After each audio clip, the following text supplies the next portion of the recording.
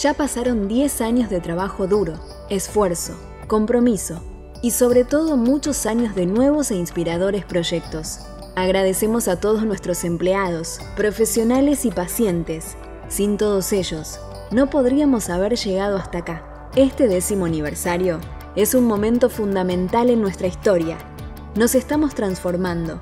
Vamos camino a ser un centro médico integral, incorporando nuevos servicios y profesionales de primer nivel.